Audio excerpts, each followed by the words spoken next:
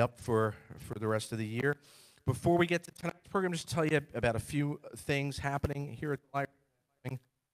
Couple of weeks. Um, this coming Friday, we have someone who has been at the library before. Patricia Shih will join us for a celebration of uh, Pete Seeger. And um, 100 years old, so we'll celebrate Pete's, Pete's 100th anniversary, which is kind of cool. Uh, also, Friday, May 17th, our Live at PWPL series, live music continues. The Zach Brock Trio, featuring the snarky violinist from the band Snarky Puppy. They are going to be truly incredible. Uh, the improvisational work is going to be wonderful. So please come down for that. The next installment in this series uh, will be Susan Werner, who will be here on June 1st and our dear friend John Platt will return to interview Susan uh, for the upcoming episode. So, uh, we're going to be streaming live over the interweb, as I always joke, for this episode, as we do for all the episodes of Inside the Musician's Mind. Um, I always say that they, they don't really know how many people are here tonight. So when I say we're live from the Port Washington Library, just pretend there are 10,000 of us and get really loud. Okay. there you go. So, okay. So, I'm going to look up to. We get thumbs up. We are Port Washington Public Library. Yes. For, month installment of Inside the Musician's Mind. Good to see all of you here, all of you back up on the lawn up there. It's great to see you all up there. Just five, ten thousand of us gathered here tonight. Uh, for those of you who don't know me, I'm going to switch microphones because this one's naughty. So let's do that. I'm going to grab this one instead. There we go.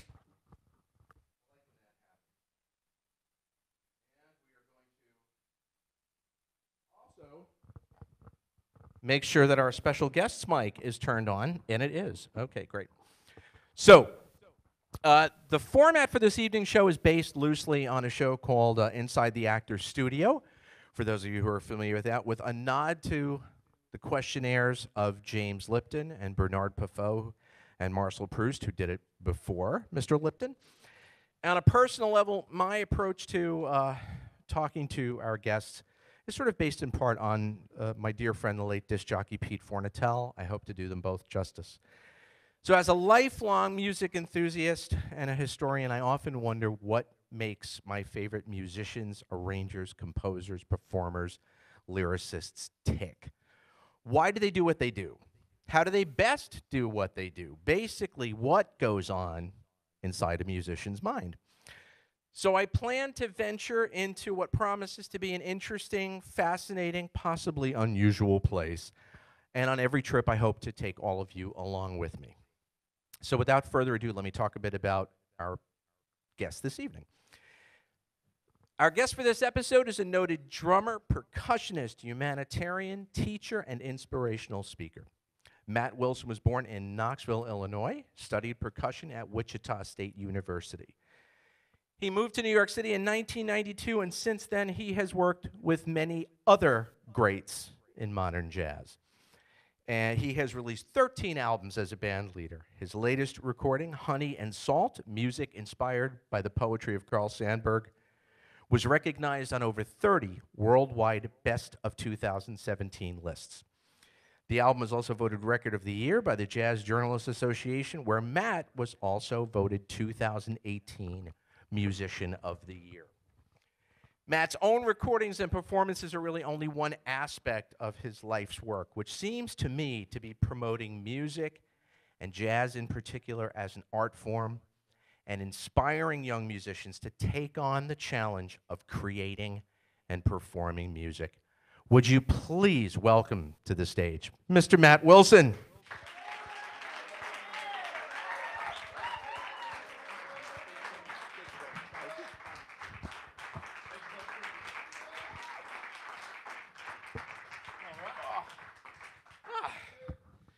So, let you settle in there. Is that in a good spot for you? That's perfect. All right. Here we go. I'll let you do some adjusting there. There we go. Thank you. So, um, We usually start with some questions that kind of provide us with uh, some insight to how and why you do what you do. And uh, I'll go to the beginning. I'll say, what is the first music that you remember hearing in your life that made an impression on you? The thing that woke you up to the power of music? Roger Miller's King of the Road. And uh, I bring that up a lot because the bass on it is in two, you know, which is a feel in jazz, swing. I mean, that music was swinging. So my my uh, exposure to swing really was that was that record, and other th- music that was on the television at the time too that that had that kind of time melody to me, that groove. But that bass line is Ba-doom, ba-doom, ba-doom, ba-doom, ba-doom, ba-doom, ba-doom, ba-boom, boom, boom, boom, boom, boom, boom. Trailers for sale. That's right.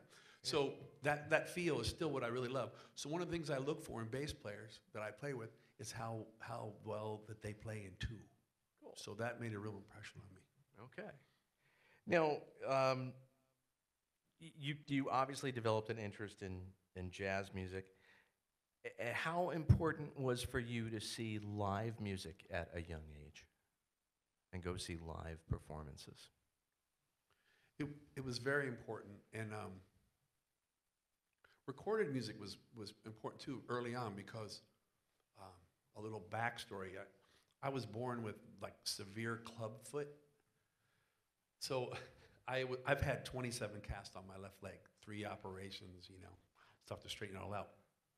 So one of the things that my mom would do is put stuff around me. Her concept, the reason I played the drums was because she used to put toys around me because I couldn't really get up. I wasn't.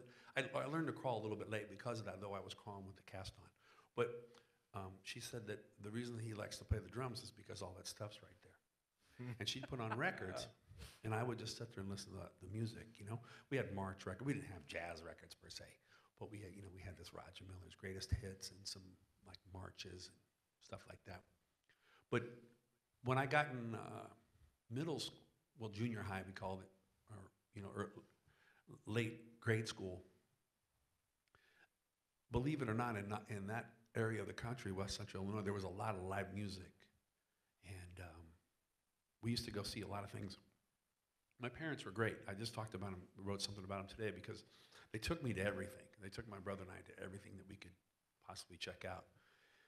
And so, but I had this buddy in high school or middle school who uh, was also into jazz. So we saw uh, and met Count Basie and um, Freddie Green with the Basie Orchestra. We went to see Buddy Rich in, um, in this same high school, Chillicothe, Illinois. Check this out. In one week, this is West Central Illinois, folks. We drove 50 miles north to the Quad Cities and we saw Clark Terry, legendary trumpeter. We drove 50 miles south and saw Dizzy Gillespie's quartet with Ed Cherry, Bob Cranshaw, and a very young and great Tommy Campbell. And two days later, we drove down to the University of Illinois and saw Oscar Peterson play solo piano. So here's these two farm kids without the interweb, as you said earlier. And we found out about this because the, the newspaper had a like a TV guide that came out on Fridays that would advertise what the concerts were in the area. Wow. So we'd circle them and we'd go. So it was pretty great. We were interested. He's a doctor and still a fan of the music, but we, we, we saw all those people. And Louie Bellson used to come around a lot because he was from West Central. You know, he's from Moline, Illinois.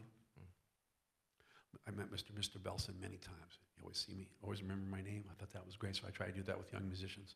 Very friendly, maybe one of the nicest people in jazz, you know, reputation. Go, been practicing? So yeah, Mr. Bellson, been practicing, so it's been great. So he was really great. But we, and then and then I went to these jazz camps and stuff like that. So I found it, you know. Yeah. The other thing I found interesting is that I was a kind of a victim of 1970s budget cuts, and uh, you know we didn't have a jazz band in my high school because of that. We, we did it on our own, but I had to go out into the public, and you know I had to get out into the community to learn this music, which is probably better. My brother, they cut the theater program too. He was five years older than me. They cut theater, and he ended up becoming one of the, if not the, you know, most in, imaginative uh, scenic designer and lighting designer of the Midwest. And we did all this without that in the schools.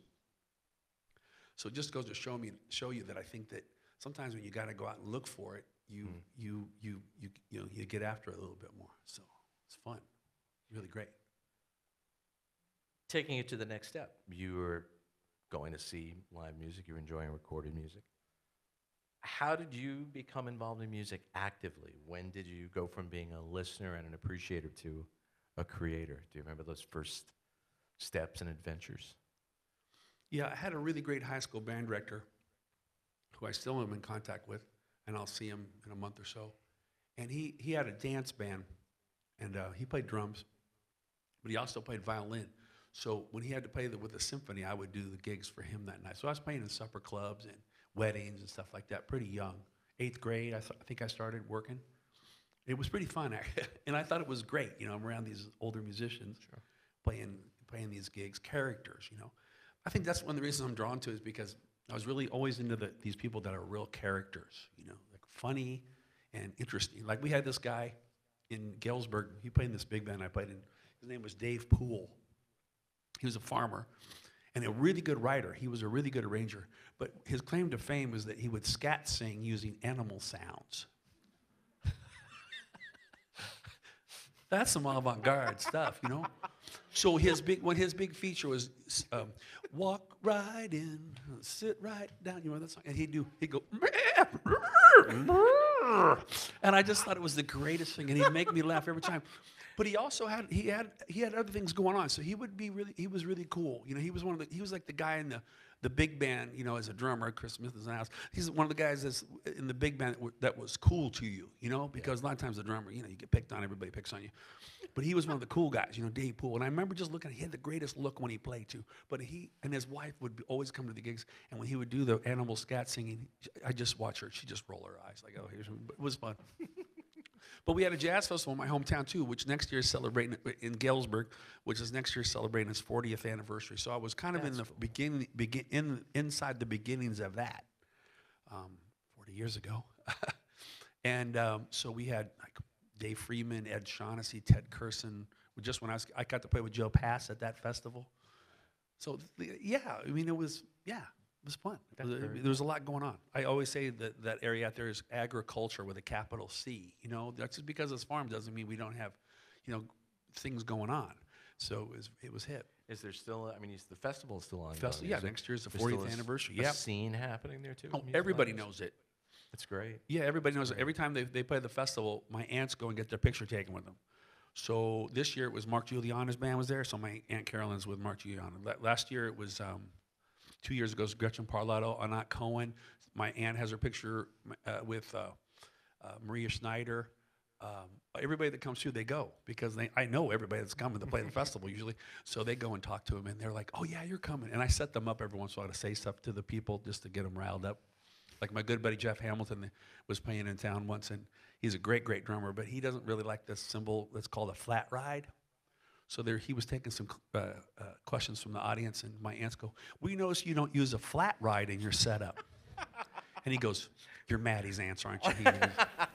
So, so you know, I've helped. brilliant. I've helped bring. You know, uh, it's been nice to see. Uh, there's another residency in that area. In that area for the jazz, for jazz, and I think I mean, it's been nice to sort of play a part in helping people come back for that. So, Sure, yeah, I'm very proud of it.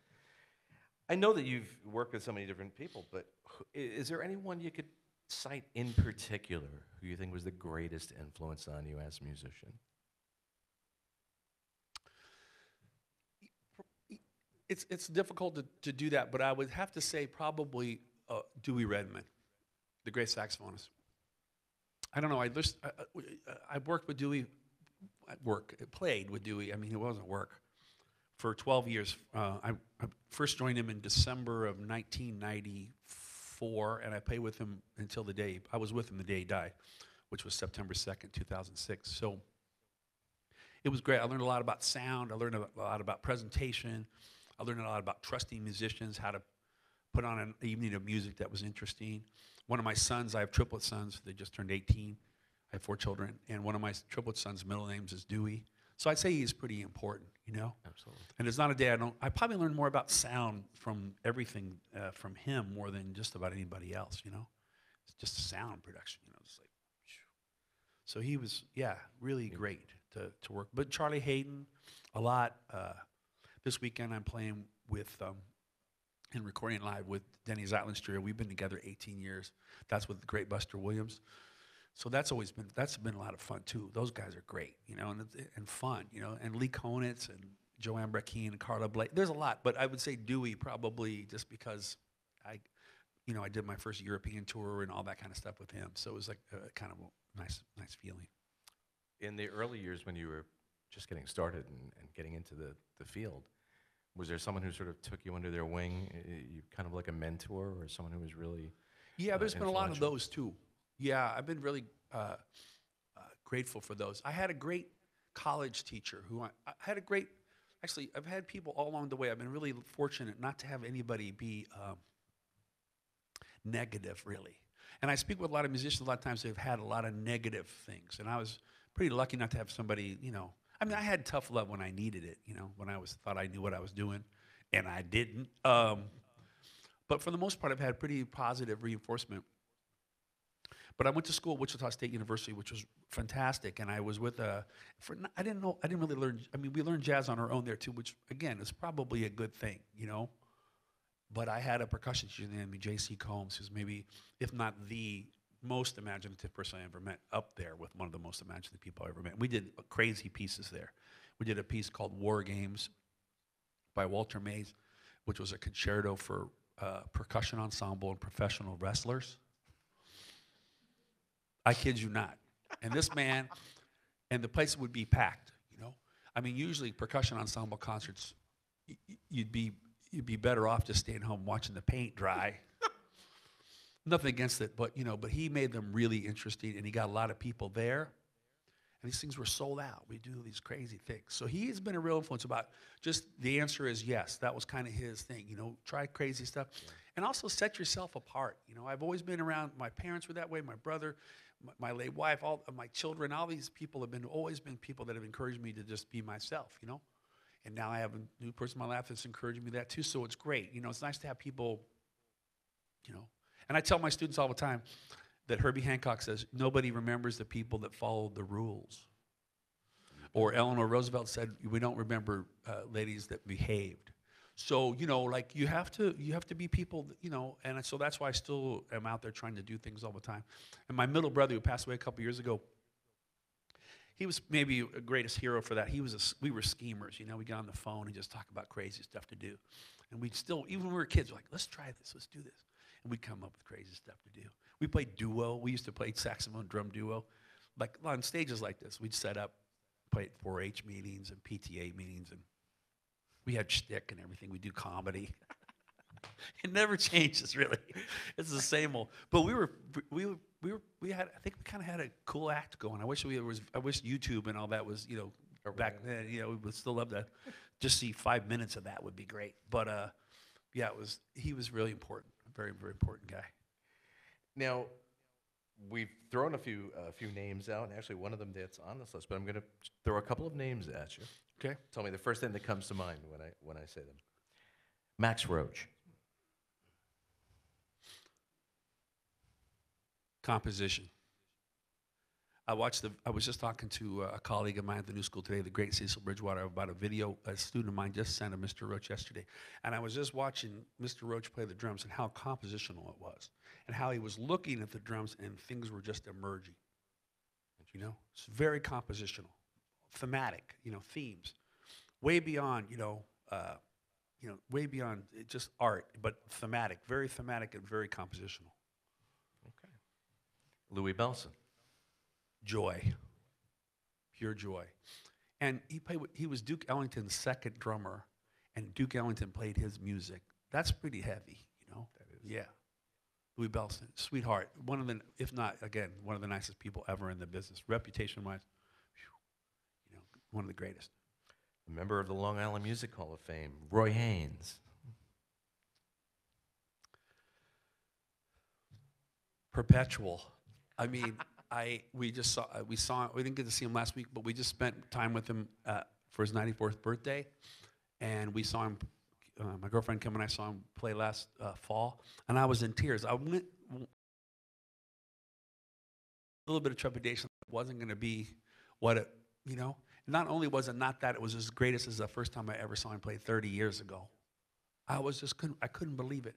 And, and the, he, he's a master of playing a song. You know, he plays the song so great.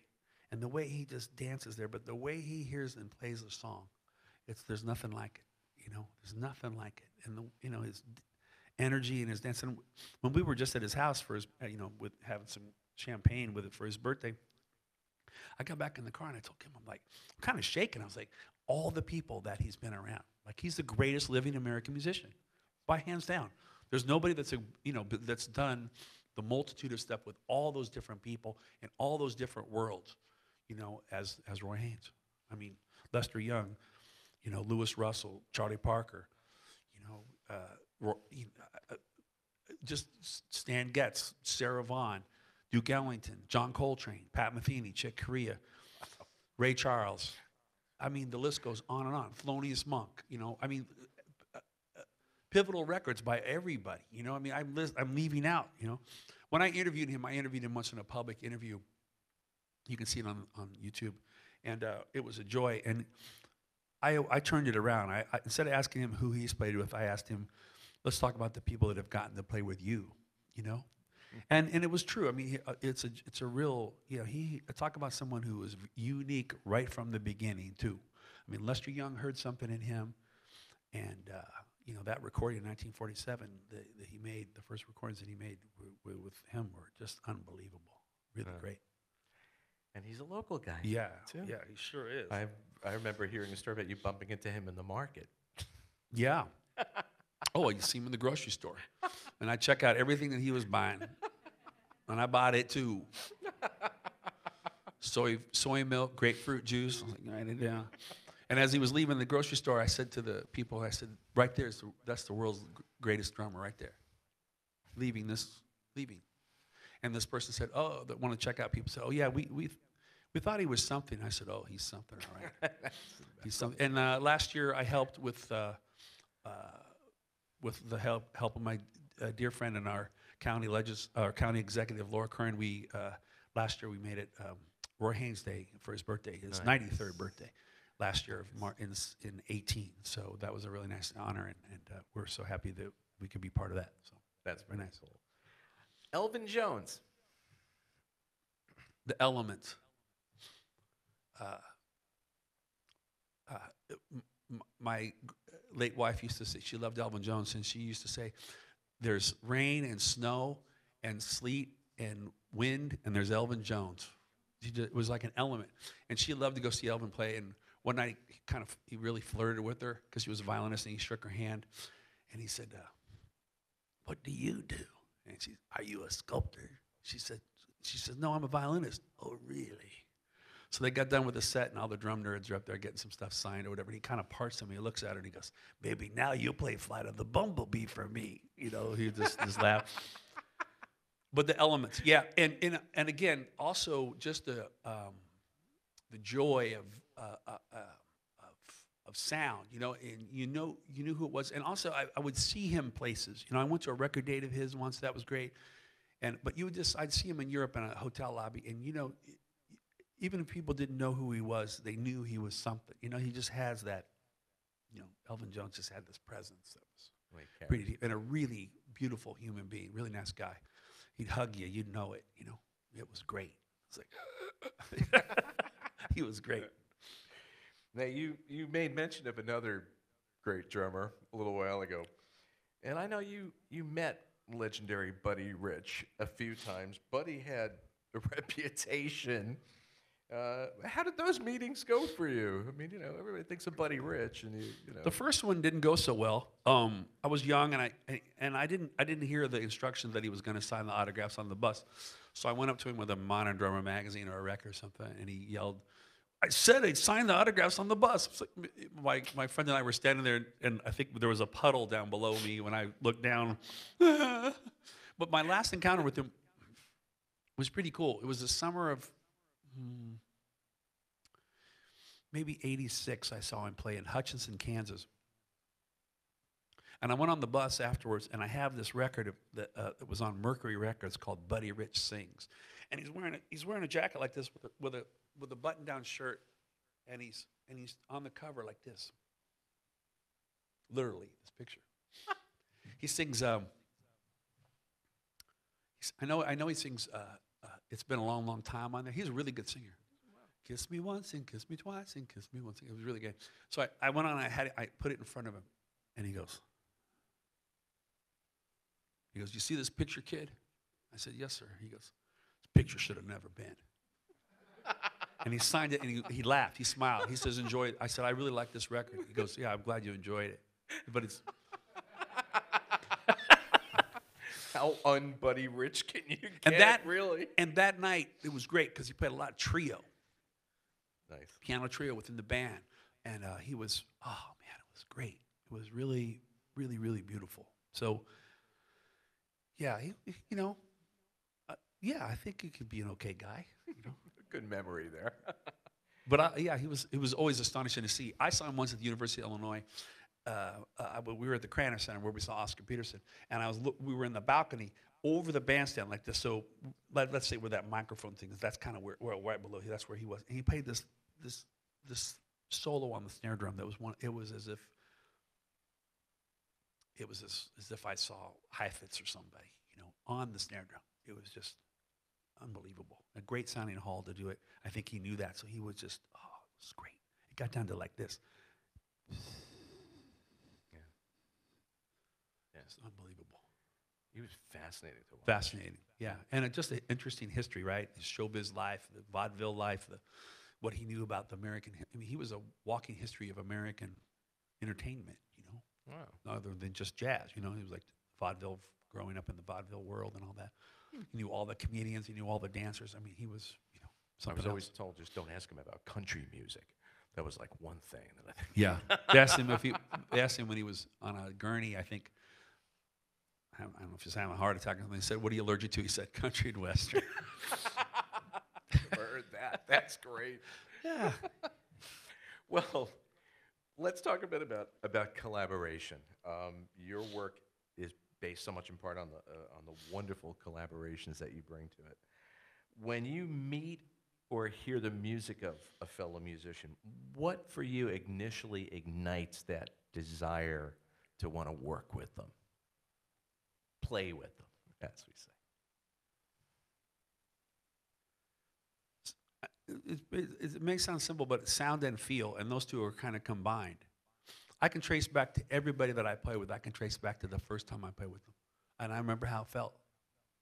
You know, the people that I that I have, you know, really in my crew of bands. You know, I can remember it. Jeff Lederer. I can remember it was a high school in somewhere in Brooklyn reading band.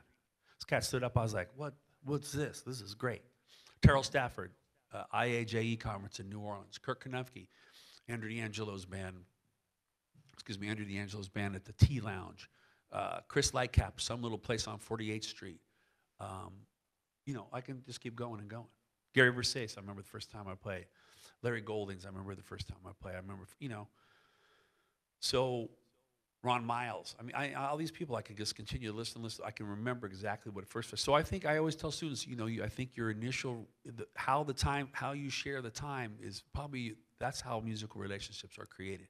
You know, I don't remember the notes they played, but man, I remember their sound and I can remember how it felt, you know, and that joy and enthusiasm that, that they convey, and, and that's why you know, like okay, I want to be involved with that sound, you know. So that's why I keep those people involved. Usually, it has a lot to do with too the that they're open and joyful, you know.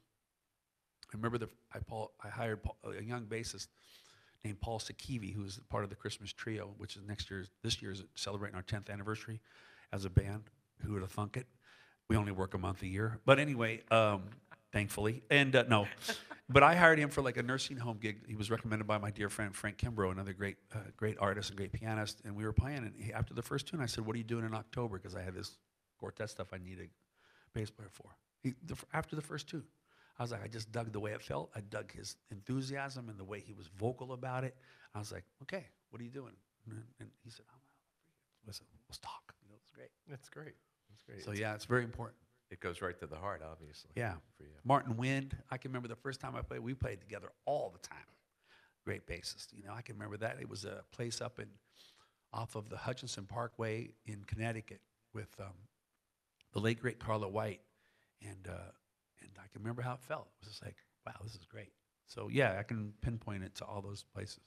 Now you, you mentioned the Christmas trio, and uh, let's look at a couple of the other ensemble projects that that uh, you've done. How did how did arts and crafts come about? Well, Arts and Crafts came about because I I'd had the Matt Wilson Quartet, and uh, we've been touring and stuff, and I kind of wanted to have a different project to record with. And I, it kind of started out really maybe as a repertoire, th- like songs that I hadn't, you know, that I wanted to do that were mo- maybe from more of the jazz canon or you know American Songbook standard standard canon or whatever like that. And um, so the first Arts and Crafts record was with I, I built the band basically around Dennis Irwin, and then uh, I and then Ter- and then the great bassist, late great bassist, and then Terrell and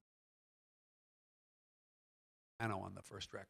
Who's he's a brilliant pianist, you know, and so um, that was fun, and we toured, and we were playing in Chicago, so they had a Hammond. So you know he's he's a great organ player, so he played Hammond along with playing piano. So the next record we you know we had him play both, and then Gary Versace took his place because Larry got a gig. You may have heard of this singer. His name is what's his name? Uh, Taylor. He's pretty good. James Taylor, I think it is. No, he's still he's in Vegas right now with James, you know, at that residency. So you know, it was kind of hard to get him to move to the West Coast, and he, and you know he still does gigs with it. That's the great thing about all those bands. You know, Joel Frahm, the great tenor saxophone player. That's somebody else I left out. I can remember the exact night I played with the first time, first two notes with Joel Frahm. I can remember like it was yesterday. It was just like wow, I'd never heard someone feel like that playing the tenor saxophone. So he's still, you know, we all do this stuff together. Once you're a family, you know, it's a family unit. You know, you, you, people come, we- we can just use different people all the time. So it's fun. A unique project. All the projects you do are unique, but a slightly different project. I love the name of this. Is the Either Orchestra. How did that go about? You know, it's funny. I just, I just hung out with Russ Gershon, the leader of that band, a few weeks ago uh, at a seder um, that we attended, and and I hadn't really listened to those records for probably 15 years, 20 years. So, you know, everything's online. So I, I was listening to. it. I was like, man, this band, uh, it was really good. I mean, I'm not that I was doubting that it was good, but I listened to it. and I was like, man, we really had a vibe going on this with this band, and. Um, yeah, we, we toured. You know, we would go out. We were out a couple times, for six weeks. Ten of us with a road manager. We'd go all over the place. We had we had a 15 passenger van with a trailer, then this little Toyota van. We had names from. We won't. I won't disclose what the nicknames were for the vans. But this was before the internet and everything. You know, we didn't have cell phones. So I was I did a little I did a little uh, panel discussion at Jazz Congress about touring, and I was the oldest person on the panel. So it was Helen Sung and Marquis Hill and Emma Cohen. So I was like, I'm the elder guy of this. I said, I, I brought up, we didn't have it. We, we used TripTiks. Remember that, you guys? Remember? AAA TripTiks. You tell them where you were going to go, and we had these. We had two boxes of TripTiks. So we'd be out, you know, in the middle of Arizona. We'd be going through the TripTik, you know, and, you know, and we'd stay. Oh man, we stayed hotels. One time we got to a hotel somewhere in, I think it was in Cedar Falls, Iowa, and uh, they had a sign uh, in the shower that said "No fowl cleaning" because it was a duck hunter's hotel. we we went everywhere, and I and the reason that I think I got you know we did that you know, and we were one of the pioneers. I have to really be proud to say that we were one of the pioneers that brought some of this music back to America. I mean America, because people weren't touring in America in the late '80s, early '90s, and so because of that, that's how Medeski, Martin, and Wood, and a lot of other people got started because John was in the band, and they we realized that there's places to play in America. So thank God for you know Russ Gershon and that band. But it was really fun. I mean, we still laugh about. I mean, we have films of that stuff. I mean, videotapes. I mean, if that stuff ever comes out, we're either going to be really proud, or you know want to change the names or put those little you know things over our black things over our faces or or garble the garble the voices. I remember the time, like one of those you know uh, crime movies or something like that. But I was just there's more stories with that band, than just, and I can remember everything. So I'm kind of like the band historian. So I can remember like what we ate. You know, there's a lot of stories. I mean, we we drove. We would. Oh, it was really fun. We just go all over the country. You know, played all over the place, and and did it. You know, and again, I'm really proud of it. And people have come out of that band. You know, uh, Medeski, Andrew D'Angelo, Bob Nieske, uh, uh, MacArthur winner Miguel Zenón. You know, I mean, a lot of people got a, a start, you know, from this band. So I think it's, I think, I don't know how many years now, but at 30 some years, I think the band has been in existence. Pretty cool. Yeah. Cool. Now, we talked a little bit about the, the Christmas Trio project, and it kind of leads me to a question about uh, the, the joy of in, interpreting songs between the, the, the standards, the Christmas songs, songs that are so well loved, well known. How different is it to approach a project like that than it is to put a project of original music together? Yeah, the, um, there's a lot of there, there. Actually, there's a lot of uh, there's there's a lot of um, creativity in the ordinary. You know, so sometimes it's really great to see what people will do. So I'm still intrigued to watch people to to hear what people are doing with something that I know, and that's why we play the blues. You know, I mean we know the blues, but when you hear somebody else when they put a, their own thing on the blues, you know, that's pretty great. So it, it's fun to do that, and and um, I think it all comes down to imagination, but in both regards, you know, presentation and imagination. But I think it's really, I, I, I like that. I like that challenge of figuring out how, you know, how, how are we going to do, uh, you know, Hark the Herald Angels Sing, or how are we going to do the Chipmunk song, or how are we going to do the Messiah, you know, the, uh, the Hallelujah chorus from the Messiah, you know, which we did with timpani and everything. Um, you know, and, and- you just try it and you, and you do it. And, and I like, I still like that. I mean, I teach at the San Francisco Conservatory and we were doing a, uh, chapter last week when I was out there uh, on, um, on early Miles Davis quintets. And, you know, Miles Davis, I mean, we, I, I, it's hard to say that, but at times we can, I, I, we can, I don't want to say it, but we can take it for granted, like just how great he was. I mean, a genius, you know, so great. And, and uh, uh, not that we take it for granted, but I mean, just wow. And what I love about him is that he, he found, I, I just want to know more about how he discovered all this repertoire that has become. Like, why did he choose Someday My Prince Will Come? You know, why did he, how did he choose Surrey with a fringe on top? How did he, you know, so he had a real ear for, for deciding, you know, John Coltrane also with My Favorite Things or Chim Chim Cheree. I mean, like, I think that's genius that, that they can find songs too that, and see, you know, what they can do with it so people can kind of enter their world through the familiar and see what someone can do with it, you know? So I think that's a, a that's a nice thing that we can do as jazz musicians, along with the, you know, the original music. Think about Honey and Salt was my first record really of, of the records I've done as a leader where it was all of my compositions. You know, I've always, you know, I've been a repertoire gatherer. So I do mine, you know, maybe it's half and half, maybe it's a third and or maybe it's more mostly mine and some, but to have it all be uh, my compositions, you know, though they're theirs once they play them, they're not really mine, but uh, was was a was a fun challenge to do. So You, uh, a little bit earlier, you mentioned uh, your wife, Felicia. yeah, And so, on a serious note, on a slightly sadder note, um, you lost Felicia in 2014, the mother of your four children. Uh, she was also a musician, a teacher. In 2016, though, you released an incredible and beautiful tribute album called "Beginning of a Memory," that was that was dedicated to Felicia. How did taking on a project like that help you to kind of overcome all the grief, the loss, and and what did all the, the accolades that you got for that album mean to you?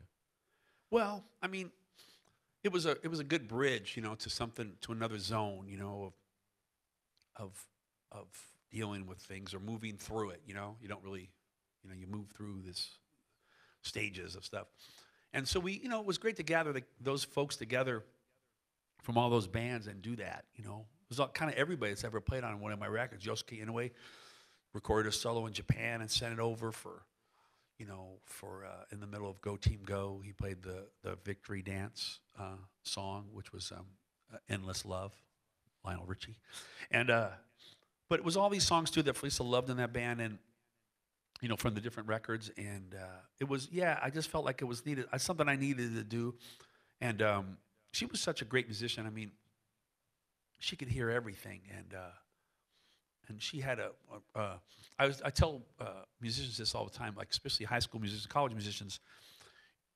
as jazz musicians, we have to realize what the form is of songs. We have to be, we have to, we're, we're really taking in the awareness of the whole composition a lot of times. Well, we, hopefully we are. But there's a lot of times where there's musicians that just read the notes from one corner to the other.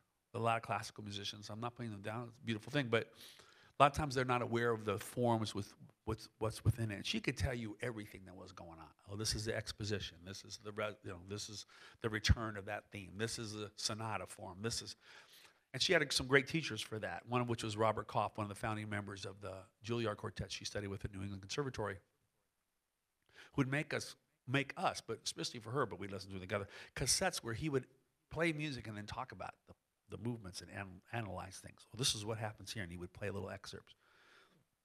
Really great. So she learned, you know, more th- eh, beyond the notes. You know, learning beyond the notes and read about the composers and knew and knew the repertoire. So, but she also loved all kinds of music. So, one of the pieces that we do on that is a piece that I wrote called "The Orchids," which was we got this orchid right after my after Felicia passed from Charlie Haden and his wife Ruth, and it was sat on our table for the longest time. So I wrote this theme, you know, from watching that seeing that flower, and Felicia's favorite song, uh, even though she was a classical uh, violinist and whatever, was "Wildwood Flower" that was made famous by the Carter family. Da da dee dee da dee da da dee da da boo boo boo. That song. It's great. And so I put those two themes together for that piece, for that record. And then we I do that with large ensemble and all kinds of things. So yeah, it's a nice thing. Beautiful. Um, gonna go into just some general questions about jazz and music, sort of state of jazz, two in a way. Um, you touched on this a little bit, but but you had received a, a national endowment grant, if I'm not mistaken, at one point, right? 1984. Now, how crucial is it that that the government, national level, that there continues to be strong support for the arts? Isn't it, it, it, it just has to be. I mean, uh, uh, if you look at our what we spend on the arts compared to other cultures, I mean other countries and other, it's sad. It's sad. And what we get, what we reap from it, though, I mean, I mean, I got a, I think that grant in in in, in 1984 was $2,200 or something like that, $2,400 or something like that. I studied with Ed Soph, the great drummer and, and, uh, and great teacher. And, and, and I used that money also to see things that summer. I saw Billy Higgins the first time. I saw Airto. I saw Elvin Jones and Philly Joe Jones in the same night in New York City. So I think that, that investment by the government, I think I have paid back in multitudes, you know, not just service to the country, you know, service to the country by traveling the world and playing this music and, and teaching it and talking about it and being a humanitarian for it. That was one of the reasons I was able to do that because I got that money from that at that point. So I, I think it's I think it's key, you know, I think it's and and we we need we need to foster imaginations. I mean, that's what our that's why people come here because of our, our imaginations. You know, we've always led with with imagination, and if we don't if we don't if we're not fostering that with our own people, we might as well just you know. And I I hate to say it, but you know, I think it's it's it's showing. So I think there has to be. Uh, I, I think I think there's enough support f- from the people that will not allow that to to to to, to, to diminish or at least or go away. I really do. But I think when it, every year or every time that we have to worry about it, I think it's a shame. You know, we I don't think we should have to worry about that, especially for what little money it is. You know, from a person's pocket to fund this. It's just to me, it's it's it's it's just not, it's not you know it's not right. So I think we have to do everything we can do to to show our support for that and and and make sure that we let our elected officials know how much that we benefit from that and how much it's needed. You know, for growth. Yeah, absolutely. I know that uh, from a lot of what I've seen, you're definitely not a lover of labels when it comes to music. Do you think that jazz music in recent years has kind of suffered from this sort of niche classification, this kind of micro management of what type of music something is? uh, all the genres seem to be hit by it, or is jazz kind of immune to that by its very nature? I'm not so opposed to the to the to the label word at all. You know, some people are, and I respect the people. I have respect everybody has an opinion about that. I'm not going to get in an argument about it. For me, I think it's a music that still welcomes a lot of music and influences a lot of music. I don't think there's any other music that welcomes music like jazz music does. And also, like I said, has influenced a lot of things. You can see that by, I mean, it, it's sort of a sad thing, and in one way, though it's kind of funny. But, but, but we seem to welcome the people that from other genres that have been put out to pasture a little bit. You know, I mean, when you look at the new- when you look at the Heritage Festival, you know, some people, you know, I mean, I don't know if that's not the right thing to say, but I mean, I think we we still welcome those people as far as the presentation at festivals and stuff. Or, or just put them on a jazz festival. There was a really great, funny um, ad, or there's a like a fake news thing last week that, that was pretty funny. It said, uh, "People surprised jazz act booked at jazz festival," um, because sometimes there's not a lot of jazz booked at the jazz festivals. But then there are a lot of them are. You know, I, I don't. You know, I I just keep pushing ahead. I mean, I I don't spend a lot of time really worrying about that per much. I, I'd rather take care of my own yard than worry about it. I mean, I just try to do as much as I can as far as what I do with my own bands and what I how I am with other people and my through the teaching and through you know events like this and through presenting concerts and all that kind of thing.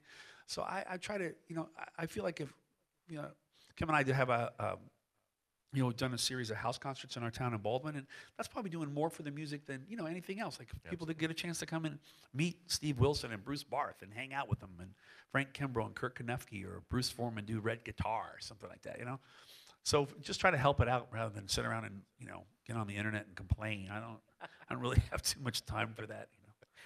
You know, I like to complain. No. It's just that your your work sort of like just runs the gamut, and and it's just so it's so nice to see that it you know it doesn't get pigeonholed. But you see some artists that just get put into it. They do this type of jazz. They do that. well, part just, of that know, comes from part of that comes from I think, and I'm proud of it. Part of it, part of it comes from uh, ignorance or uh, you know or not knowing. You know, I mean, I don't mean that in a negative way. Yeah. Uh, uh, my brother, when I was a kid, got me this great record set, and I talk about this all the time. I've talked with Chris Smith, the great drummer, who's in the house about it.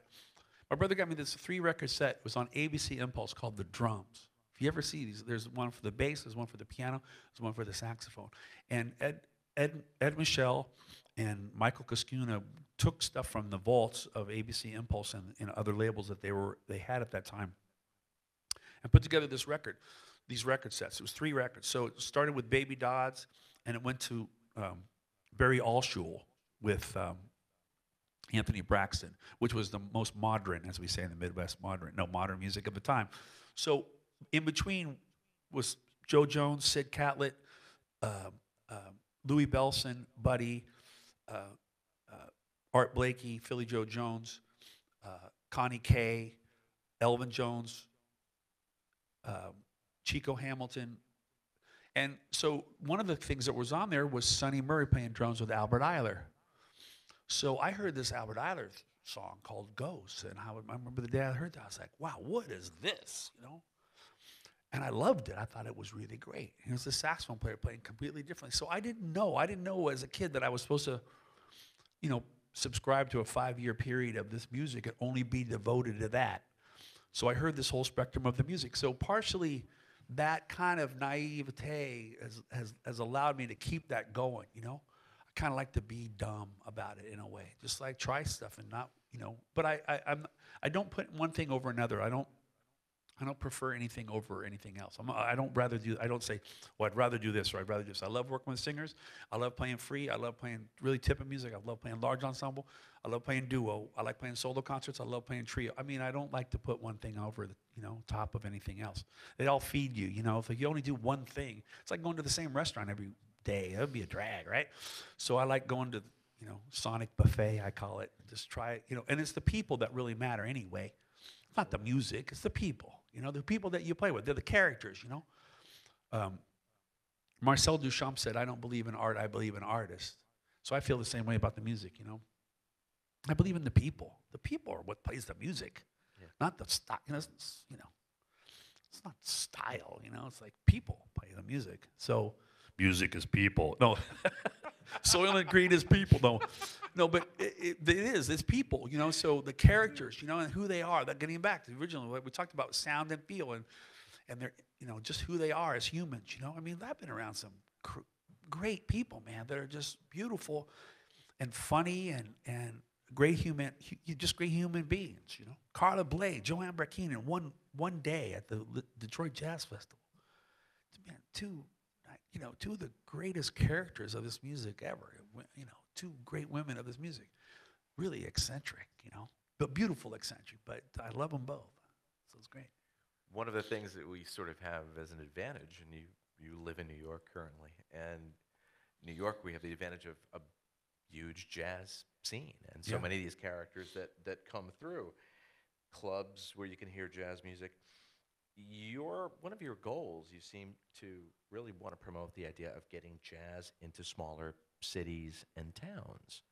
And um, you know, how do you feel that that endeavor is going and, and bringing bringing that music into areas that aren't as uh, uh, you know, jazz isn't as prolific as it is here.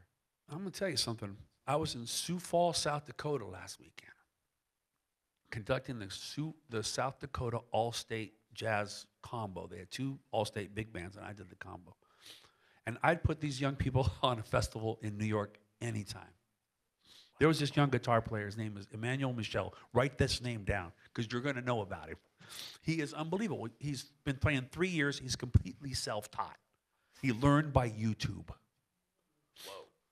Whoa. Unbelievable. Unbelievable. And, in- and he knows everything that's going on. He asked about all the cats. What, what's this? What, who's this? Who's it? What are they doing? So it's happening everywhere. And not only, not only these young musicians, but the, the, the, the people that, that I met from the community out there, it, there's a lot of stuff going on. And this year alone, I've been in Richmond, I've been in uh, Virginia, I was down in uh, Lexington, Kentucky, I've been in Boone, North Carolina, I've been in Idaho twice. You know, I mean, I- yeah, it's everywhere. You know, and the people are, you know, imagination, it, it, it's the imaginations and and cour- courage doesn't come from urban. You know, it's like you know, just Yeah. people that want to do stuff and try it out. Galesburg, Des Moines, Iowa City. I mean, Indianapolis, Cleveland. I mean, this stuff happening everywhere. So it's great to see. You know? So with that in mind, do you think that the uh, uh, the interweb is uh, Definitely. contributing? Definitely. The internet's been jazz's one of jazz's greatest friends, if not, yeah, because you can hear the music. I remember when I was a kid, we'd read about a record. Oh, we got to go get this record. You go to record store, well, we don't have it, and so you, you know, out of sight, out of mind. Now, you know, we can. I don't have my phone, but you can go on right now. And so, Yeah. you know, we can research, and you know, there's Wikipedia in, you know, things about records. You know, I mean, I, I- have these students learn more about just than just the song. You know, like you got to go, you got to learn beyond the notes. You know, so do the research, learn the anthropology. You know, learn history.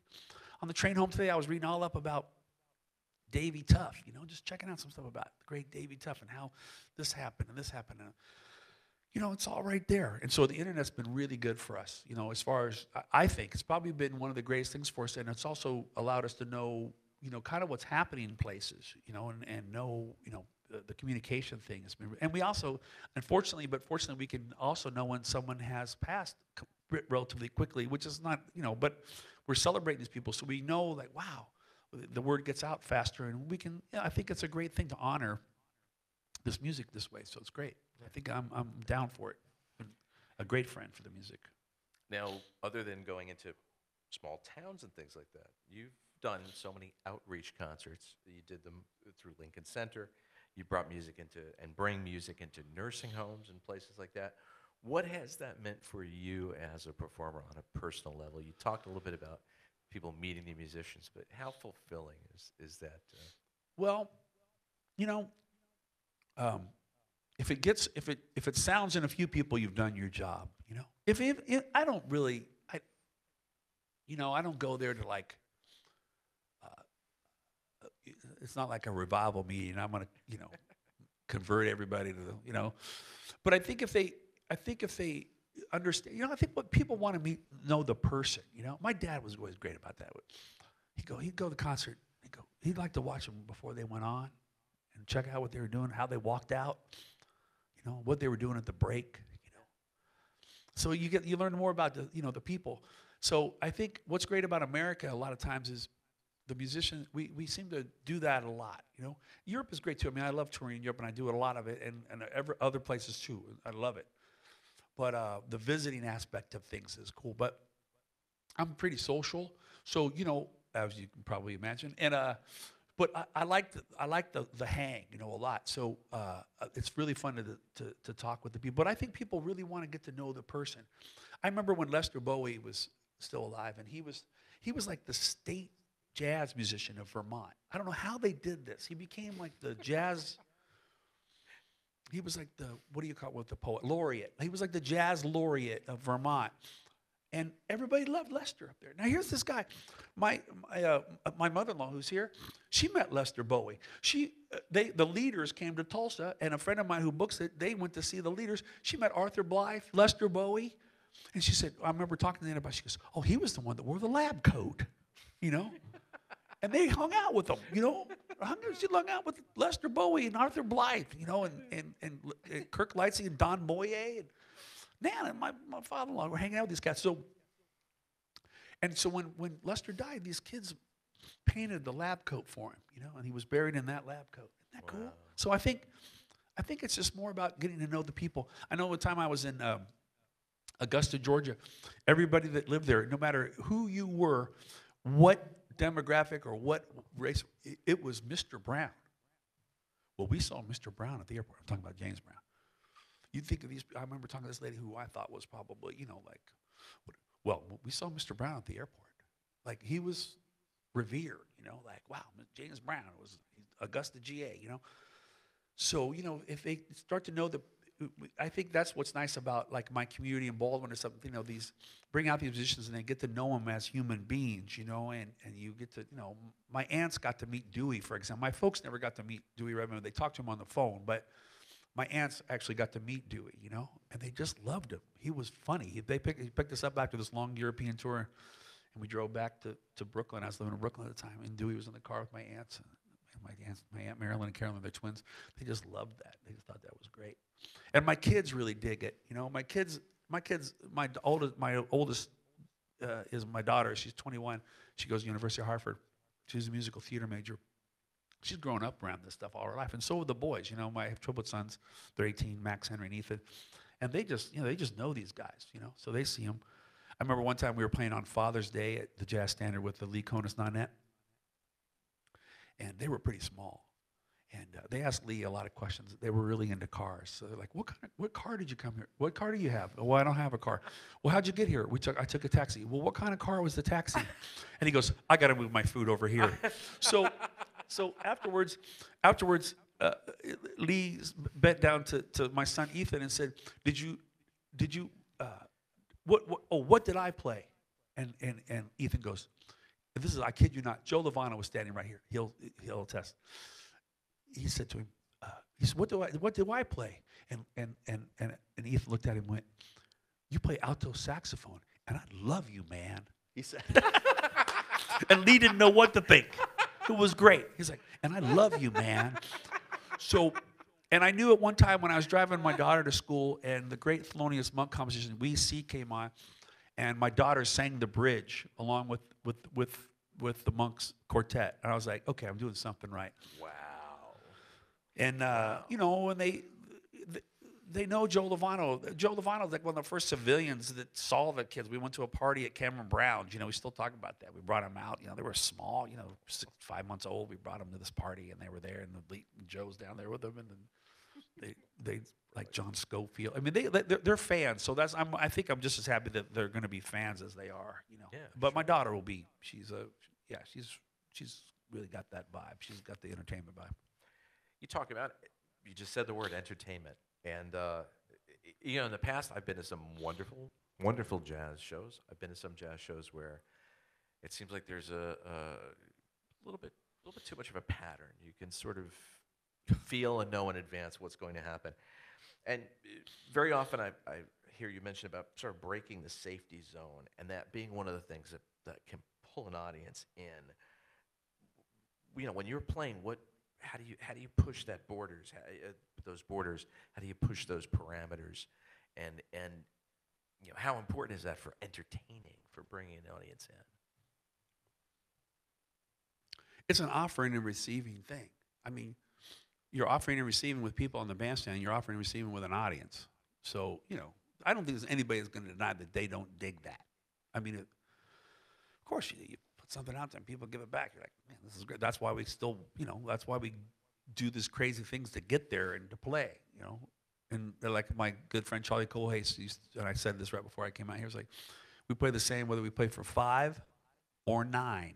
But anyway, uh,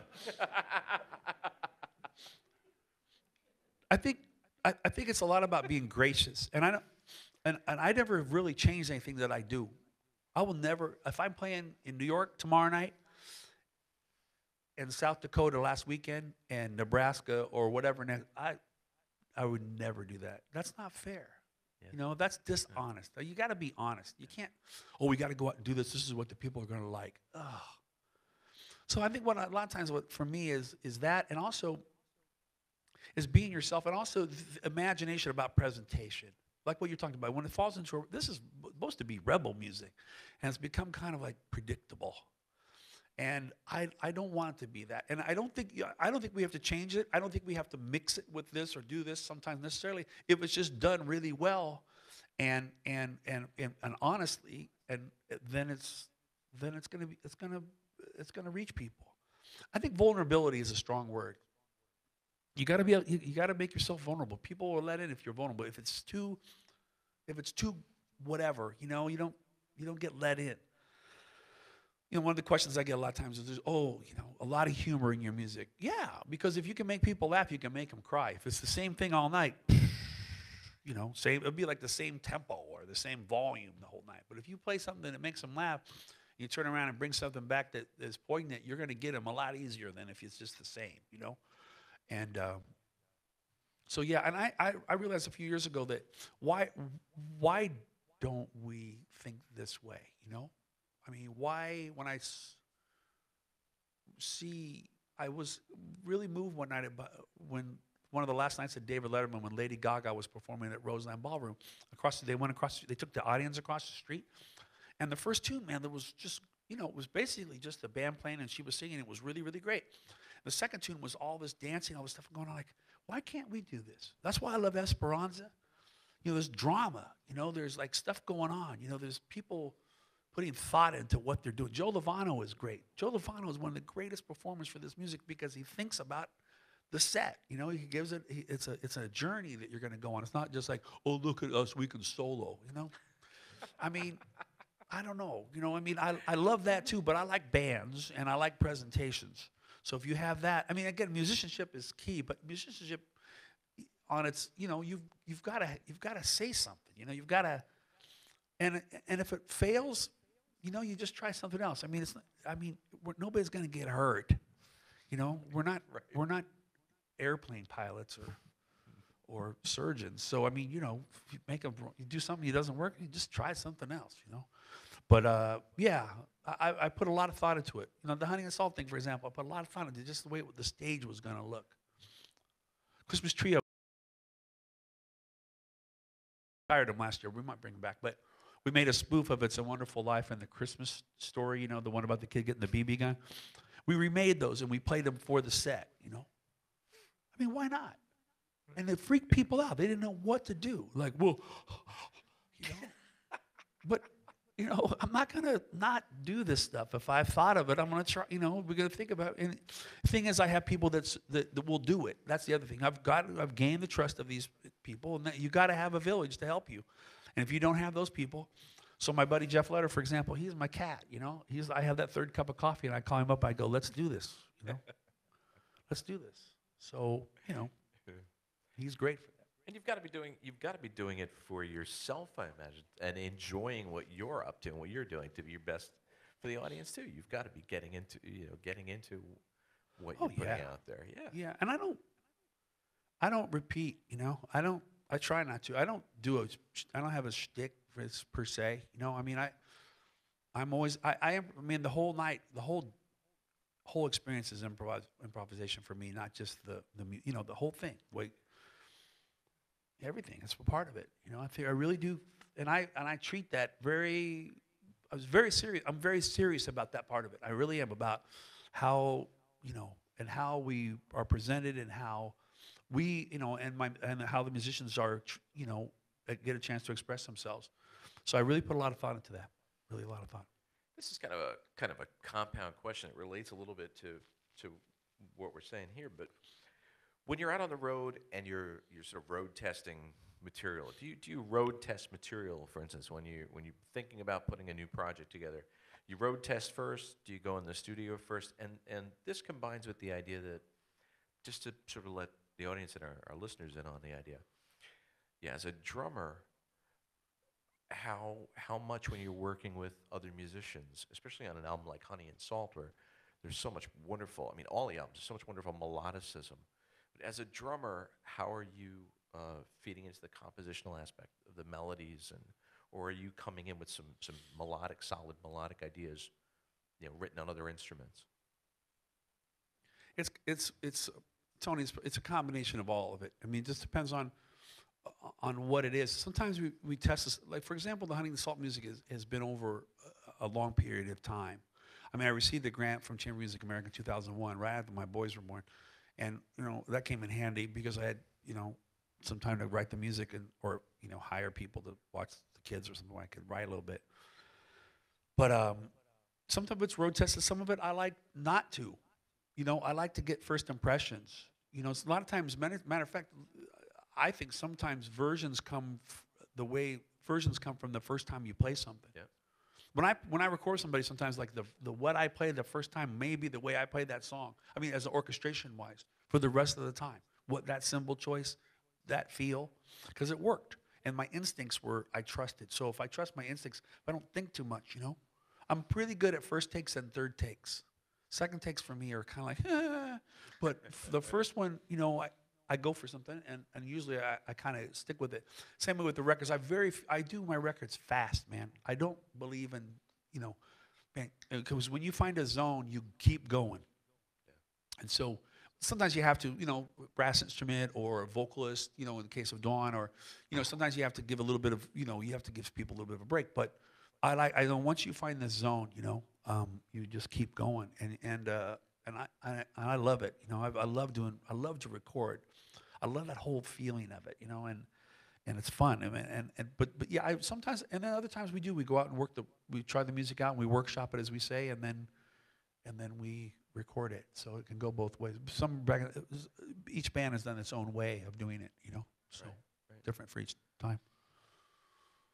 Just sort of a couple of questions, just kind of taking it outside the jazz world for a moment. Can you can you talk about some of the the non-jazz musicians that you've been inspired by? Maybe mention some of the musicians that are out there currently performing outside of the jazz world that you respect and enjoy and maybe glean things from as a musician. Oh, phew. Well, you know, you, you, you, you have music that you um, grew up it with as a kid always. You know, you can't ever, you know, that's your story. You know, everybody has a story, and a lot of your story is the music that you heard. For me, I was lucky. It was like radio was great. And still one of my best friends is the radio because I don't have to decide what to listen to. But I liked a lot of things, you know, and I still do and I- and I- and I'm intrigued by I, I'm, I like something that that that that seems to not be not be the second phase of something, you know. Know, there's always the pioneer, then there's always a bunch of people that sort of follow that, you know. So when you get these people that are okay, they they did this and uh, first, and you try, you know, you check that out. So you're always sort of searching for some people that are maybe you're, you know, getting into something slightly different. I can pinpoint a lot of things. Uh, um, uh, I know, I know when I heard Miles Davis record "Working in Steam," and that influenced me in a lot of ways as far as the jazz thing. But at the same time, I was getting into like a lot of funk and and what was known when I was a kid as new wave music that was really great, like the Talking Heads. And I'm still a big Talking Heads fan, and I loved um, a lot of a- a lot of R&B music that was from the 70s, you know. Just the grooves, you know. Kim and I were listening to Billy Paul the other day singing "Me and Mrs. Jones." Oh, I remember that. I remember that summer, and I remember the summer of "Rock the Boat" was a hit. the Hues Corporation. Ah, whew. yeah, and and and and I so I was just kind of into into all of that, and and, and Parliament Funkadelic was big, especially Bootsy Collins solo records. I really dug. But I had really great influences. My brother, again, my brother Mark was probably one of the greatest influences like turning me on to music. He's the one who brought home the Sonny Rollins record. Said you got to listen to this. Al Foster, you got to listen to Al Foster. He said he just sat me down. Said you got to listen to Al Foster. so I did, and and I played that for a student of mine the other day. This particular record. But um, you know, I still, I, I you know, it- David Bowie's Fame comes on the radio. I always listen to it. When Beast of Burden by the, the Rolling Stones comes on, I always listen to it on the radio. I always because just the snare drum sound, just just the snare drum sound. Man, Charlie Watts. You know when. Uh, when uh, Back in Black comes on by AC/DC, I always listen to it. You know, when when uh, when uh, uh, Sex Machine by James Brown comes on, or any of those James Brown things. And Aretha, we saw Amazing Grace the other night. Oh man, if you guys haven't seen this movie, oh go! I mean, it is just unbelievable, and uh, she's unbelievable. The band is unbelievable, but this guy Alexander Hamilton, who conducts the choir, wow. You know, I like Broadway musical music. I love Johnny Cash. You know, I love uh, George Jones. I went to the Johnny Cash Museum in Nashville last year. You know, and uh, and I've gotten to meet some rock guys. You know, I got I was I played with Elvis Costello with, with these orchestras, and, and you know I remember when Elvis was on the on on the on Saturday Night Live when he went to Radio Radio. And it's so great to be around that that kind of spirit too, you know. So yeah, I've been pretty fortunate to to meet s- some of those folks and and and be around. And I'm always in, and I li- I like Britney Spears. You know, it freaks my boys out when I say that, but I like her. You know, and and I like um, uh, Rihanna, and I like. I, I really like Missy Elliott. As far that that's kind of my era of hip hop more than now, but I, I'm I'm I'm giving it a chance. You know, I kind of you know I'm, I'll give it a chance if it's imaginative. I'm into it. You know. Going the other way, we've got you probably have some listeners and some some folks who are not necessarily jazz listeners. So, taking it as Matt Wilson, the music fan, some advice for our non-jazz listeners out there. Can you think of either three pieces of music or three artists or any combination in there that would sort of be the something that that would open their minds and their ears to to the idea of jazz? Well, today's his 100 would have been his 120th birthday. Edward Kennedy Duke Ellington would be a you know I mean there's to me man a day without, I mean the day of listening to any day you get to listen to Duke Ellington's music it's a great day. You know, Louis Armstrong. I mean, just as a spirit, you know, I mean, just amazing. M- Miles, you know, I, what I always just tell people is to find something that sounds in you. You know, I love Ornette Coleman, for example. Ornette Coleman, Don Cherry. I mean, I'm kind of part of that lineage. You know, I'm, I'm that family tree, and I'm forever grateful. You know, because of playing with Dewey for that many years, playing with Charlie Haden for that many years. You know, I mean, wow, so great to be, you know, just to hear that music, and I don't know what it is that did it, you know, and why why in the middle of this cornfields in Illinois did, did this happen? You know, I still wonder about it all the time. Like, wow. But you got to be from somewhere, you know, and uh, and and and I think I heard that music, and I think there's something about the wide open spaces out there too that influences, you know, the time feel. We talk about it all the time. There's a Midwestern time feel. There's an East Coast time feel. It's a little more aggressive. You know, West Coast is like, you know, no, but it's all great. You know, it all it all it all lends itself. And um, but it's great. You know, my years in Wichita too was a different kind of thing. It was like the southwestern kind of vibe more, the blues. I played in like a lot of these blues bands and jump blues bands and and like rockabilly kind of bands and stuff like that. That was a real influence. You know, learning all about that, learning the ba- how the what the bass line was on. You know, I remember this cat showing me this bass line. So uh, on Honey and Salt, on uh, We Must Behave, you know, the one that John Scofield reads. They rip influenced by Bo Diddley, and, and and I remember this guy telling me that the bass lines for those is, is boom a doo doo doo doo doo boom boom da doo da da da doo da doo da da da da da doo da da da. So those kinds of things that I absorbed from these people were great. I worked with this great big band leader in Wichita where I learned all the American songbook tunes. Newt Graber was his name. He was called the Jazz Cowboy. Man, he was so influential, you know. He could sing, he played, he played keyboards, he walked the bass, and he could play valve trombone all at the same time. Well, he didn't do the play valve trombone and sing at the same time, but but he was great, and I learned all the American songbook, you know, a lot of long, uh, great American songbook tunes playing that gig, and also a lot as a kid playing those tunes, you know. But I, so I'm a, I'm a, I'm a, I adore that world too. I love Gershwin, Harry Warren tunes, you know, uh, Irving Berlin, you know.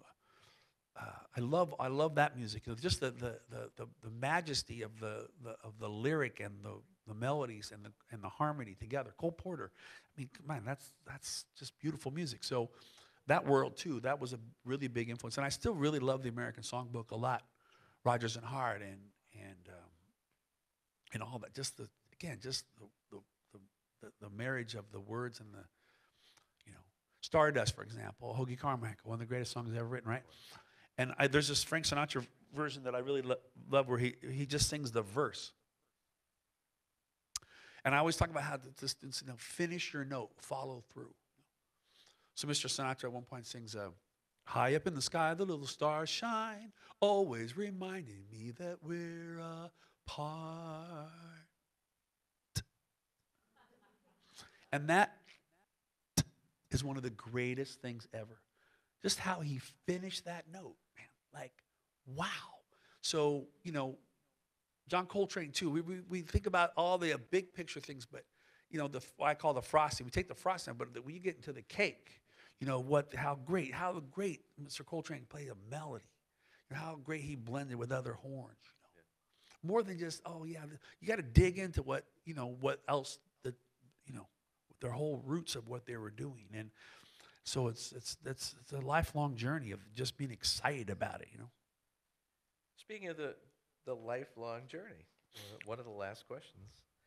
What do you feel that you personally still need to explore as a musician and an artist? Is there just one, one thing that you can pinpoint and say, this is where something I want to do? many years ago, I was with uh, Lee Konitz. We were backstage, and it was around his 75th birthday. He, he just turned 91, great alto saxophonist. We were backstage at the, at the, uh, in East, East Hampton at the club there, the, mm, I can't remember the name of the club. Dennis Irwin and myself and him. And he said to me, you know what I want to do in my remaining years? And this was, you know, a long time ago. I said, I don't know what, Lee. And I thought it was going to be all this stuff of grandeur. He goes, I want to just keep doing what I'm doing and do it better. And I thought that was a really great thing. Like, just keep improving. You know, like keep. Again, you know, I, I don't I don't really need to add, elect for me uh, electronics or this or that. I just like man, if with with these people, just keep finding people that I find intriguing and grow with them, or find new people that I find intriguing and bring them in. But I think if I just keep exploring with those people, that's kind of my goal, I think, is just to keep. There's still some people that I haven't got a chance to get in the pool with, you know, or the sandbox, as we say. And so I'm trying to have that facilitate that. But I'm, I'm really lucky that I've got to play with veterans of this music and apprentice with them. I played with my peers. I played with the people in between. And now I'm playing with a lot of young people. So, you know, I really dig that where I'm getting all this influence now of, of all these different situations. You know, again, it goes back to the people. It's really, it's about the people for me those relationships. It's all relationships, you know. Create these relationships and you keep those, you know, it's great to say to somebody, we've been playing together for 30 years.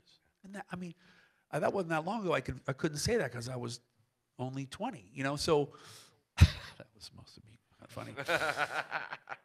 Tough crowd. Uh, no, but you know, but that I love that. You know, I mean, like Ted Ted Nash, for example. I met Ted Nash when I was 14 years old, playing with Louie Bellson. You know, we've been we've known each other for that long. And now we've been playing together. On I just played on a couple records of his and recently, and we did something else collaborative. And yeah, I mean, it's great to say that. You know, I've been playing with some people for you know, 35, 20, you know, 25, 30 years. That's cool, you know? So that's a great thing to get to do, just to see what we can keep doing with those relationships. All right. Well, before we uh, we take a few questions from the audience, we we've gotten to something that we call the down and dirty dozen. Do I get to say the- my favorite swear word? No, just- sorry, Nana. Well, Cover see, Nana's. we've had a little variation on it because it's a library. I. I have a few. You can mouth it if you want. All right, let's let me let us know the first responses that come into your mind to the following. Okay. What is your favorite word? Joy. What is your least favorite word?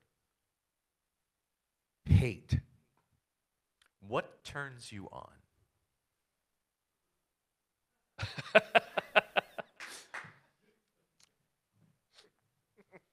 Flow. Yeah. What turns you off? So, being closed. Just closed situations, you know, where people, yeah. So it's kind of the opposite. The flow to me is a big thing, you know. Flow with anything is great. Flow with food, flow with whatever. Mm. Flow with a lot of things. What sound or noise do you love? Laughter. Who is your favorite fictional hero? Batman. All right. yep. Who is your favorite non-fictional hero? I mean, someone who, who is alive, you know. Uh, I have to say, my brother Mark. I think. Yeah, he was great. You know, he's turned me on to a lot of things. He was great. Yeah, Beautiful.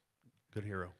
I think everybody would agree. I think you know between yeah, Lisa and Mark. But yeah, it was because I grew up. You know, you like he just fostered me to a lot of different things. So I say it would be him. I've broken these up. What sound or noise do you hate?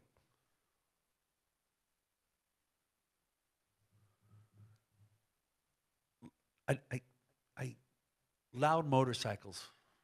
Oh, I don't know. I just think it's one of the most selfish things in the world. You know, I'd like to just have a cymbal ready at any given time, and just drive, pull up next to him, just.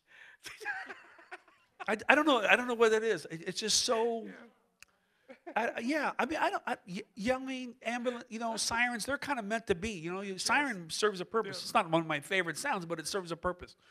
Subway train, you know, they can't help that. That's an, that the oil. You know, they need the tracks need oil. I don't know, brakes. That's not that. But but that, you know, it's just. I don't know. There's just something about it. I just, you know, ugh. I- yeah, I don't like motor. I like motorcycle sounds. This might be the same answer to this question. What makes you want to swear?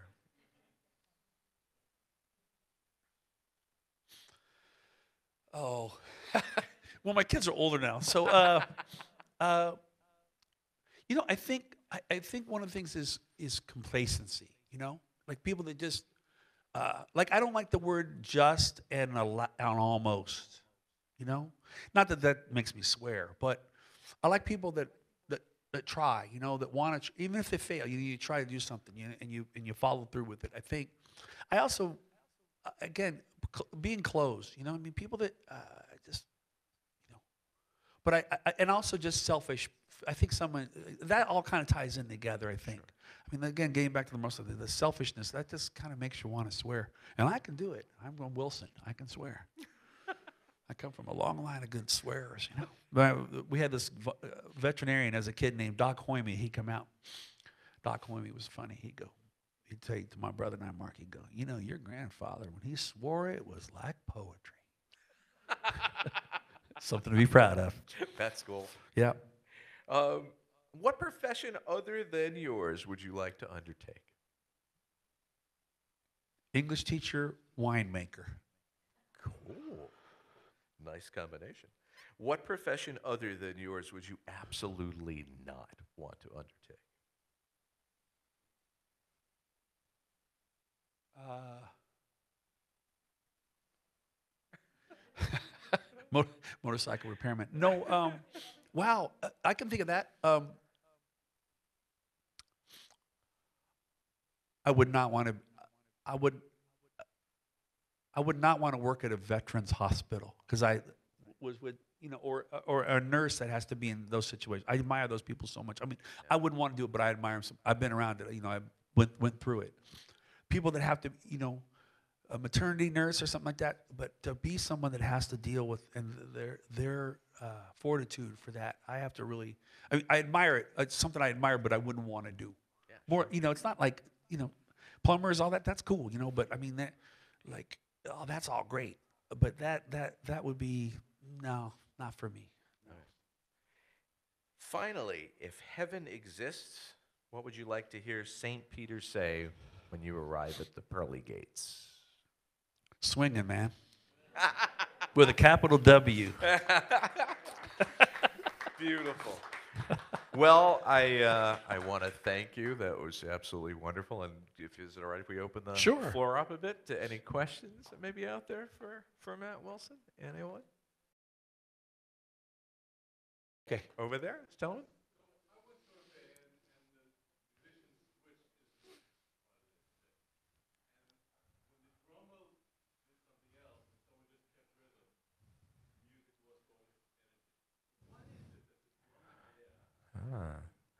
The question being, what is it that a drummer adds besides rhythm? Gentleman saying he saw a band where they switched instruments. When the drummer stepped away and someone took their place, it all kind of lost the energy. So, what is it that a drummer brings in? One of our the pioneers. You know, the the thing about the drum set that we should be proud of as Americans is that it's an American instrument, and it and it represents, it represents our culture. It's a melting pot of instruments. You know, it, it, it, we we know what the drum set is, but it, it's individual. You know, you can have ten toms, you can have whatever.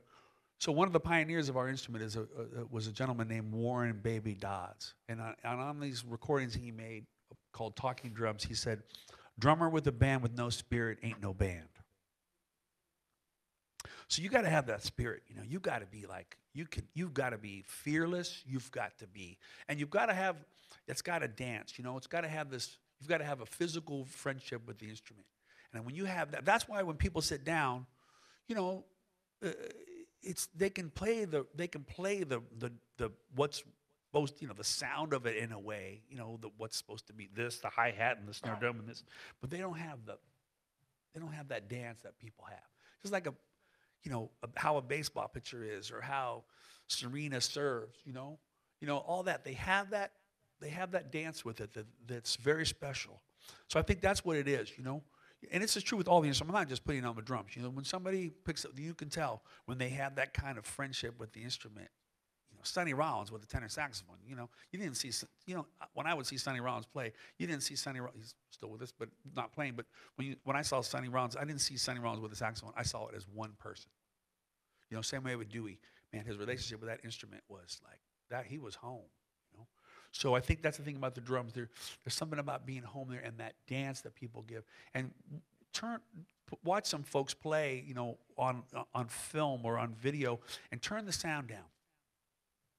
And just watch the flow, and you'll see. You know, I was watching. Speaking to Mr. Roach, I was talking to Cecil Bridgewater about that today. Just to watch Mr. Roach yesterday, just compose just watching him, the joy of watching him see this music emerge, you know.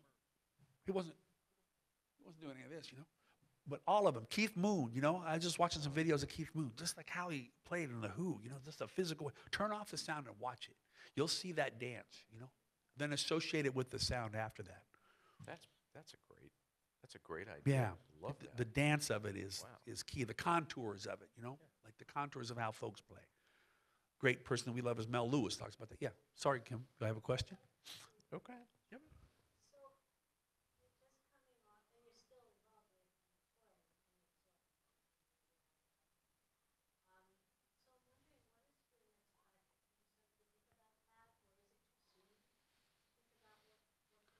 The question is that um, Matt's just been coming off of the great success of Honey and Salt.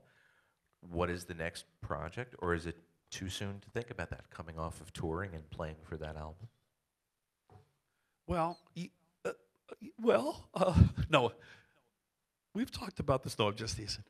I, I'm, I'm, I, I just played with the quartet, which is I refer to as Matt Wilson Quartet. I say the quartet. But that's Kirk Knuffke on cornet, Jeff Lederer, Chris Lightcap on bass, and myself. We played in Philadelphia about a month ago, a little over. We hadn't played for a while. And I brought some new music. We played at Temple University. And I brought some new music with us to play. And we looked at it like literally just read it down, or looked at it right before this workshop. And then we played it for this workshop. And it just came to life. Like, and, and the great saxophonist, uh, um, um, oh, jeez, sorry. Uh, uh, Tim, Tim, uh, oh man, teaches at Temple. Oh man, sorry, Tim. I'm tired. But he plays with Terrell a lot was there because Terrell wasn't Terrell Stafford wasn't at the school that day. Just said, man, this is a band. There's bands and then there's bands, you know. Tim Warfield, excuse me. Great guy, you know, and and I and I, I knew that and I felt that that anyway, but I was like, man, this is this is special, you know. We got to do. I, I so I'm going to take them in. I'm going to try to do a band with some young people, and I have a dream project that I'm trying to get scheduled with a veteran that I don't want to disclose, but I I, I want to do it because I have to do this, you know. So that's one. So I'm going to kind of do. I, I've kind of taken a little bit of hiatus from this, a little bit of the recording, but I think in the next five or six months, I'm going to do a lot. I'm going to do a duo recording with uh, Kirk Knuffke. I'm going to try to do a bunch of different things. So yeah, I'm going to try to just do a bunch. That's great. That's great. Question back there?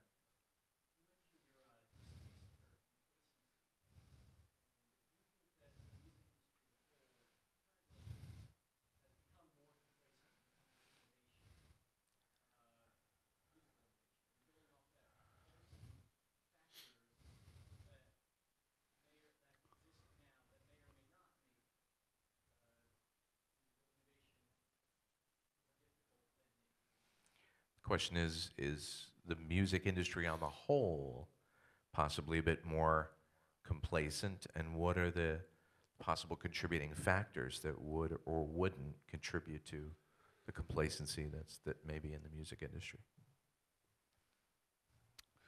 Well, there's a, a very uh, insightful question, young man. I, I think I think there's always going to be people that are going to be innovative. You know, I mean, I, I- don't I don't think anybody wakes up and you know says uh, you know pick up dry cleaning, uh, buy cat food, uh, you know water the lawn, be uh, innovative. I think that's something that you don't even know that you're doing that in a way. I think some people do wake up though and go, maybe perhaps they do. I mean, for everything I say, there's always the opposite. I don't know. I think partially, uh, I mean, I just heard a statistic this morning about my sons work at um, AMC movie, and one of my sons had to work till 12:30 last night because of the new Avengers movies. You know, so again, I haven't seen them. I don't know, but they're worried that that that the that the big companies are only going to make these kinds of movies because that's all that's going to draw and make money for them. So we're not going to have romantic comedies. We're not going to have this and that because it's only that. I have to say it's disheartening. One of the reasons about the recording thing that's a little disheartening is, in a way, because I've grown up with it this way. I grew up like when people bought your recordings at concerts, and I used to look at an audience and see a lot of people and go, "Oh, tonight I'm going to probably sell 50 copies of a record," and we sell five. And or I heard someone say at a table uh, at a Honey and Salt concert, "Go, that's just easier for me to listen to it on YouTube." And I'm like, you know, it, my sons that need that like sneakers, I wish I could just go to the store and get them, you know, but I have to buy them. So that, but that we've kind of buried ourselves in that thing too. I'm not really going to get started on that because I again I just move ahead. But I think that I believe that that the, the spirit of imagination and creativity there's always going to be people that uh, that are going to pioneer. And I think there's probably something happening as we speak. There's probably something brewing in New York City as we speak that could really be that. It could be this young person I heard last week in South Dakota. You know, it could be any of these kinds of things if if if a chance allows it to be fostered. And I think live music will never be replaced. My brother Mark used to refer to Elvis as human moments. Human moments will never be replaced. We can we can look at the Louvre online, but it's not the same as going there. You know, you know you can you you know I mean uh, you got it. You've got experience. You can theater. You know, you go to see the live theater. You go see, you know, this and that. Uh, so I think what we need to do is I call it you know. Pr- uh, sort of welcome people or encourage people to be good cultural citizens. what I say anymore is you don't have to really purchase the records, right? That's fine. But show us love some other way, like perhaps attend the concerts, you know, be uh, at some south. And there are a lot of people that really are. So I think that's going to help foster um, that kind of uh, uh, of energy that will allow that. You- You need what we talked about earlier. We need the offer. We need the offering and receiving. And if you don't get the receiving, you don't. You're not quite sure of what you're doing. And not that that should dictate it, but it does give you encouragement that like, wow, you're doing something, and they may be going like this.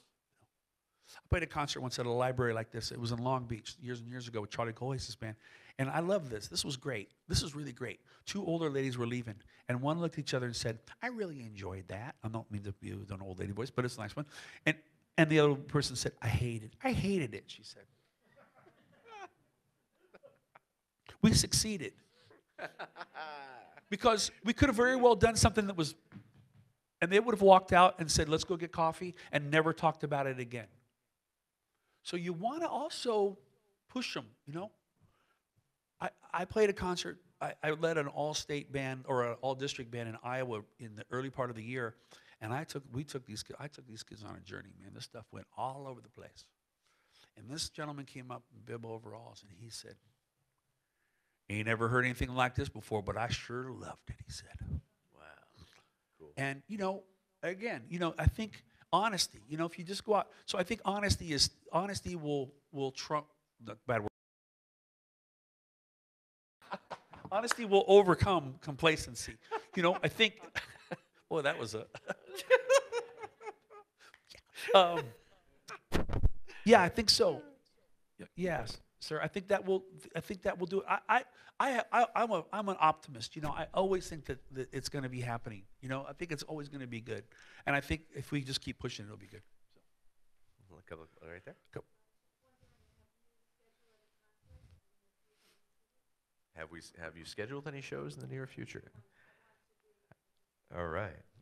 This is Um, as of as of our date of broadcast. So if folks see this in the future, they know this is. Uh, Yeah, I'm, I'm as a side person, I am. I'm, I'm at uh, I'm at Mezzrow this weekend with Denny Zeitlin with Buster. We're recording live. I'm at Dizzy's on Thursday with Bruce Forman with Rufus Reid, the great guitarist Bruce Forman, and the great contrabassist Rufus Reid at Dizzy's at Jazz Lincoln Center.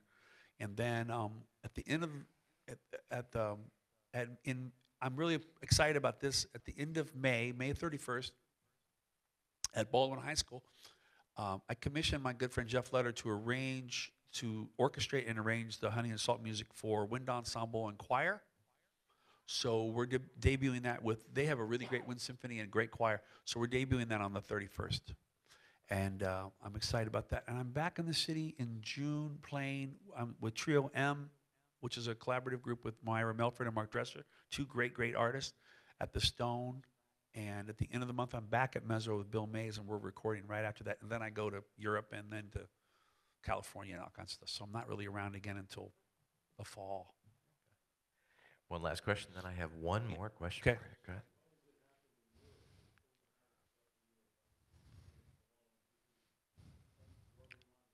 Yeah, I know Drory very well. Great drummer.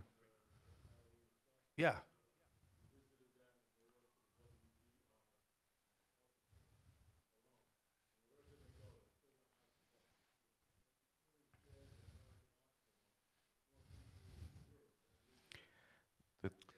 The question being, why uh, is it that in Europe, jazz music still fills the houses as opposed to here in America, an American art form is, is not playing in, in rooms that are as big or as. You know, sorry, I think it could, it could, it could kind of go back to what we were talking about earlier about arts funding. If you're educated, and I don't mean educated like that you know what's going on, but if you're if, if you're welcomed into things, you know, it takes effort. You know, to, to you, we all know we're busy. You know, if you're a parent, you know how it is. Like, if you can make, if we can allow people to be welcomed into it easier, then it's cool. But they they've allowed that over there, you know, over the years, and and I think that it's it has diminished a little. I feel it's diminished even in my time of touring in Europe uh, slightly, but still, th- that's sort of like a cultural event to to to to go to to go to things. I grew up, you know, my parents we would just go to do things, you know, take but but we didn't we had three channels, you know, and so and we didn't have the internet machine and and all that. So we had to kind of find things to do. So I think that might be part of it. But but I still feel that um, I feel great about how it is in America right now. But I, I still feel that you're right. I, we still loved going to Europe and, and the, the appreciation is there. Maybe too because it is because it's a music from another land still in a way, even though they have great, great musicians there playing it, just like we do around the world. But you know, it's great to see that, you know, respect. Same way too, when there's some great European artists come here, now they're getting some play. European jazz artists are getting more play in the States than they ever have before. So I think that's great too, along with Israeli musicians, along with Indian music. I mean, great people of all, you know, the sense we're welcoming, again, we've welcomed this music into a lot of different cultures. So I think th- th- that's a positive. But uh, yeah, I don't know. It's a mystery. I think again. I think it. it, it, it I think people are just, you know, uh, accustomed to going to do things, and they have these centers there that allow that to happen a lot of times. You know, venues that are very friendly for the music and are supported. You know, so it helps. It's not all about always down to the dollar. You know, it's about a lot of other things. So. I have one last question before we go. What, if any, is your favorite drummer joke? Um.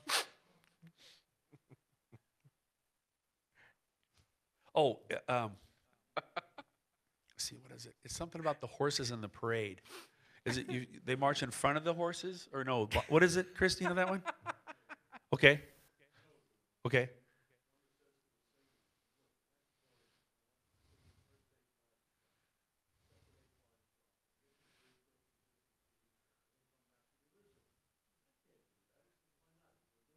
Oh, jeez. yeah, I don't pick on the singers too much. I, Well, that I was know- a singer joke. I know better. Uh, a drummer joke. Well, I think I have a trumpet one, but I can't tell it. Um, I, I, I, I think I think have heard all I, of them at this I point. haven't. Yeah, I, there was one though. There's one recently that I did hear that I think it was something about, you know, they they march in f- front of the horses because of you know whatever's going to happen.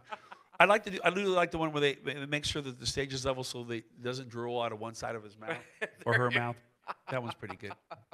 But uh, or you know, it takes five, one to screw in the light bulb and four to go. I can do that, but that's that applies to everybody. That's that's more of a tenor. That's more of a tenor saxophone joke. well, I must thank you oh, thank for you joining No, us for thank you. this. Thank you guys. There's Matt so much. Wilson. Thank you. Absolutely wonderful.